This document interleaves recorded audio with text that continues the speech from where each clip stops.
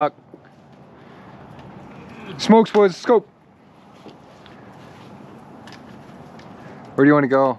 Try and catch them three because you got you're tied off these. I think the angle have to change, but that's all right. I'm thinking this. Yep. I want to get those more than anything. So I'm gonna go to here.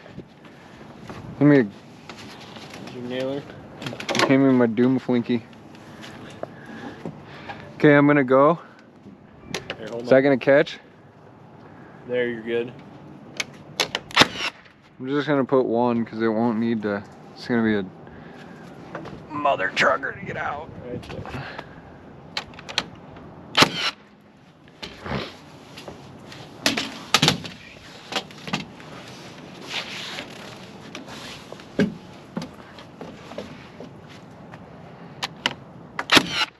Matt Bangs Wood would be impressed with my climbing skills today. I'm no fox. Those dudes are nuts.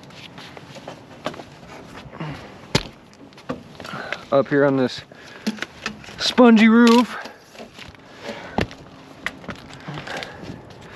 Just letting her eat.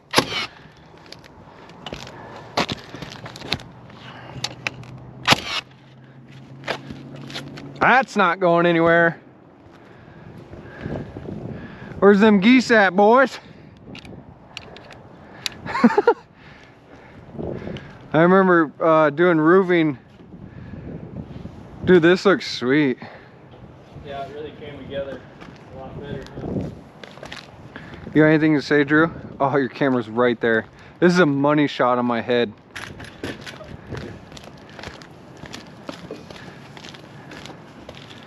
Is your camera rolling?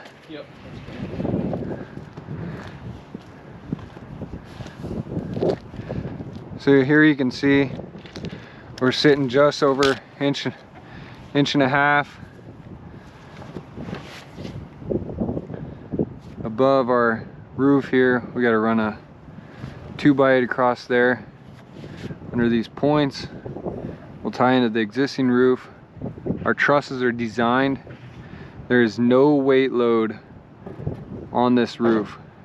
So you can see this bottom chord here transfers down into that, which transfers into our ledger board on the side of the garage.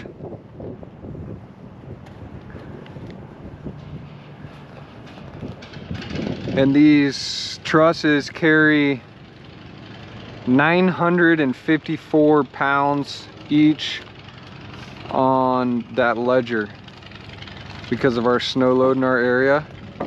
So again, everything, there's no load on this roof other than just tying it in and it'll be carrying a little bit of the sheathing and the shingles. It all comes down this chord, transfers down into our ledger on the house. And the design when we went to the truss plant, when we had some questions, he said that there's 954 pounds. Was it 954 or 29? I don't remember. It's a lot of weight sitting here. And what that means, what he told us was 47 and a half inches of compacted snow up on this roof for this to be essentially overloaded. So, I think it's good.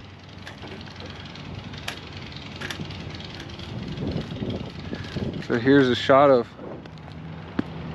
what we got today.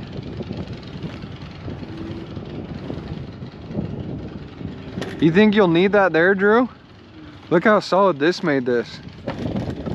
Like, Yeah. I'd say wait until we get the next truss or the next two and then follow that same one that's right there by your left hand. That same angle, yeah. I